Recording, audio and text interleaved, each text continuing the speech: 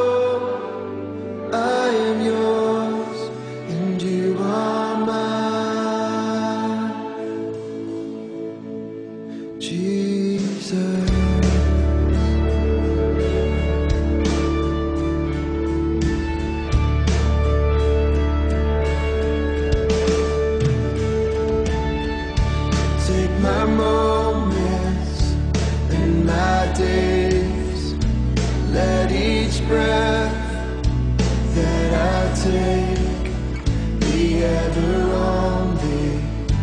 for you, oh God. Come on, lift it up. Oh, here I stand.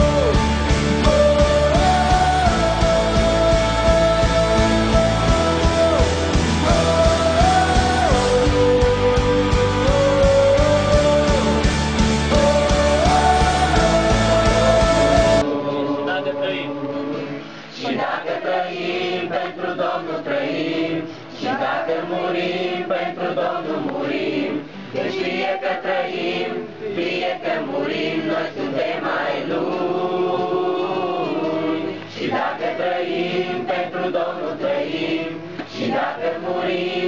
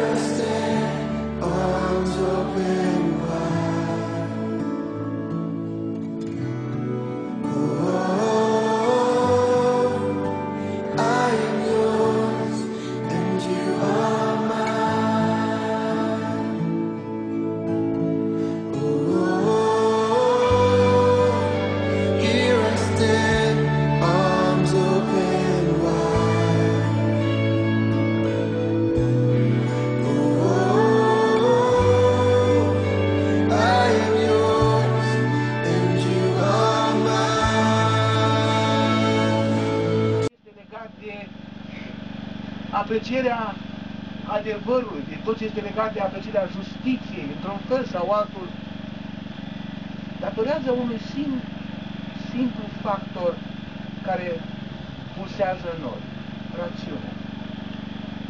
O altă fază despre care probabil ați discutat este asemănarea. Și asemănarea sunt atributele pe care noi le împărtășim în fiecare zi, în relație unii cu alții. Suntem creați după chipul și asemănarea lui Dumnezeu ca ființe responsabile și, în al doilea rând, ca persoane responsabile. Nu numai ființe, ci persoane. Când, înainte de versetul 7 din capitolul 2, ne se descrie cum a fost creată lumea, anima, lumea uh, fizică, apoi lumea animală și așa mai departe.